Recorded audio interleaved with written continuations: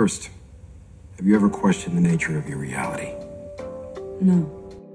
Hey Siri, are you alive? Sorry, I've been advised not to discuss my existential status.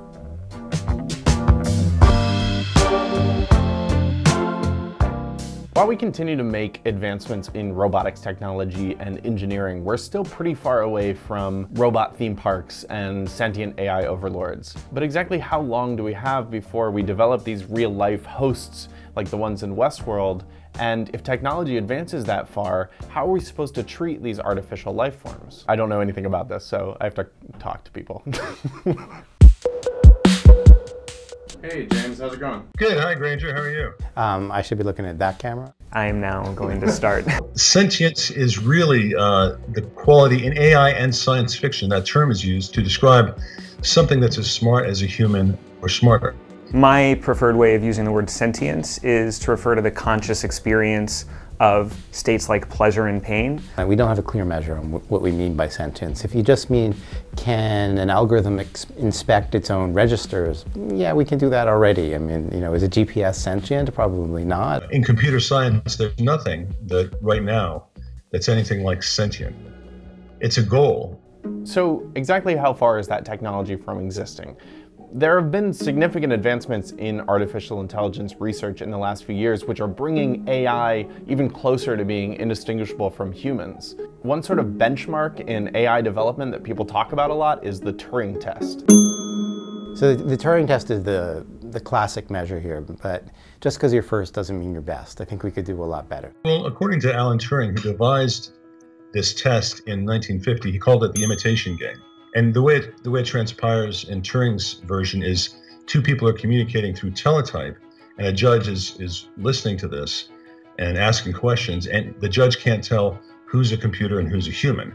When that happens, the the computer is determined to be intelligent. In 2014, a chatbot called Eugene Goostman, who was supposed to be this 13-year-old boy from the Ukraine, uh, won a Turing test competition by fooling over a third of the judges into thinking that he was a human. It wasn't really that intelligent. What it was doing was exploiting a vulnerability in our cognitive architecture. One thing you do if you want to fool other people is you pretend either that you're paranoid or maybe you don't speak English to cover up the fact that you don't really speak English. And so the Turing test allows a program program with no sense but good tricks um, to fool a person only for a few minutes. Only a child could be fooled into thinking that Goostman was a human. Another huge step in the AI world has been teaching these programs to learn on their own. In 2017, a program called AlphaGo beat the world champion at the notoriously complex strategy game Go. AlphaGo was given thousands of games of, of Go so this this AlphaGo developed so much expertise it was able to defeat the human Go champions.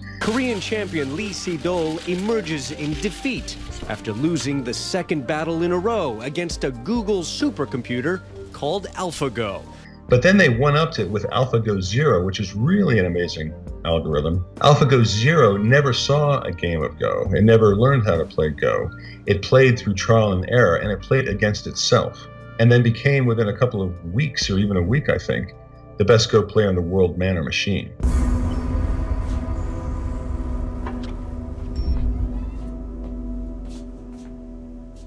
Hello. So the robots in Westworld work because they're convincingly lifelike, not only in their personalities and the way they speak and their improvisation, but also in the way they look and the way they move. So mechanically speaking, there have also been some big strides forward in the robotics industry. The robotics researchers at Boston Dynamics have been doing some really incredible things, creating these lifelike uh, mobile robots that move like living things. Plus there's that really terrifying one, Sophia, that we see on local cable news all the time. I will destroy humans. But even these kind of somewhat lifelike robots, they still sound like robots, whereas in Westworld, the robots, they sound like humans. So on the vocal side of things, you have neural network algorithms like the one created by the startup Lyrebird, which are getting better and better at mimicking the human voice. I am not a robot. My intonation is always different. But these programs obviously still have a long way to go. You also have Vocaloids, which are singing voice synthesizers, like the J-pop star Hatsune Miku, who is totally computer generated, but still manages to sell out these massive stadium shows.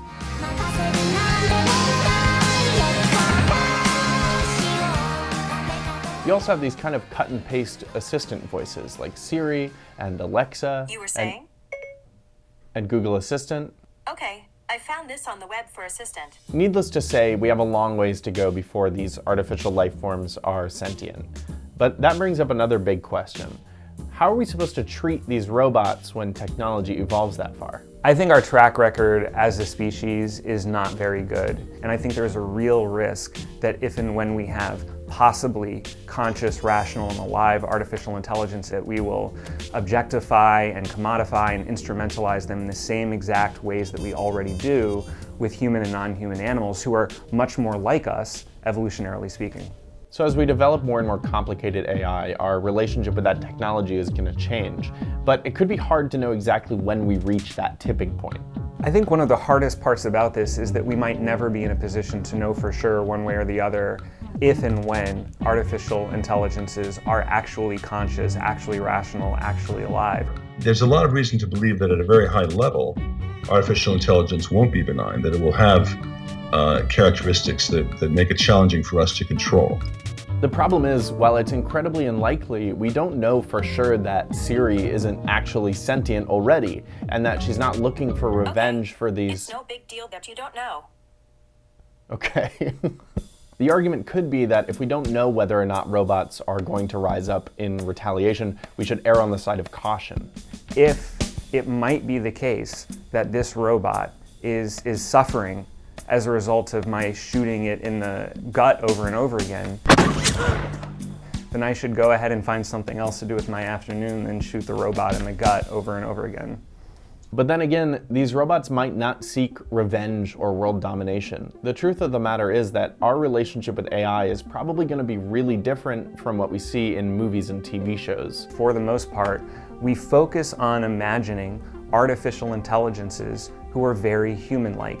But if and when we create artificial intelligences, it might not be like that. They might be in phones, they might be distributed across computers, they might have very different and completely incomprehensible types of motivations. We can have giant arrays of computers that become sentient and, and challenge us in the next couple of decades. I think people's biggest worry in AI is that AI is going to take over the world, that it's going to be sort of like the Terminator. I'm not worried about the AI you know, going after us. At least I'm not too worried. I'm a little bit worried. You think about like computers couldn't play Go at all 50 years ago, and now they can beat the best human being. They have shown in that time no more interest in you know, meddling in our affairs. So we might be years and years and years away from robotic theme parks, and even if we do get these sort of artificial life forms, they probably won't be anything like what we've seen in science fiction. But regardless, we're entering into uncharted territory, and Westworld brings up some very real, very important ethical questions that we're probably going to have to answer sooner rather than later.